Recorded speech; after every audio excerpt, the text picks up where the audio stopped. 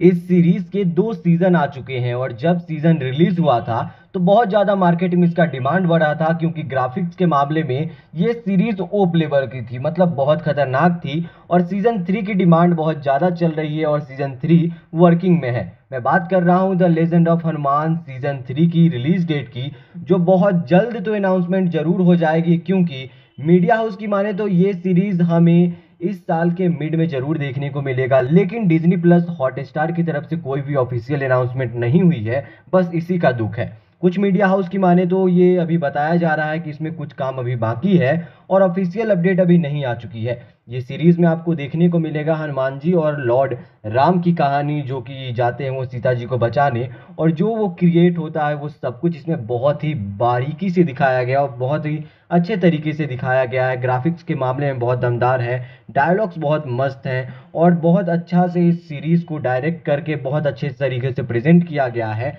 जो हम सभी सीज़न थ्री के लिए बहुत ज़्यादा एक्साइटेड हैं। सीज़न वन और सीज़न टू आपको डिज्नी प्लस हॉटस्टार पर देखने को मिलेगा और सीज़न थ्री का कुछ तो अभी अपडेट ऑफिशियल नहीं आया है, लेकिन मीडिया हाउस की माने तो ये सीरीज़ हमें इस साल के मिड में देखने को मिलेगी और ज़्यादा चांसेस है कि हमें जुलाई के फ़र्स्ट वीक तक इस सीरीज़ को देखने को मिल जाएगा। और इस सीरीज़ का ट्रेलर सीज़न थ्री का ट्रेलर आपको जून के लास्ट वीक में ज़रूर देखने को मिल जाएगा। अगर फ्यूचर में कोई अपडेट आता है तो मैं आपको टाइम टू टाइम अपडेट कर दूँगा। और ऐसे ही मूवी और वेब सीरीज़ का रिव्यू इन्फॉर्मेशन जानने के लिए चैनल को सब्सक्राइब कर लें।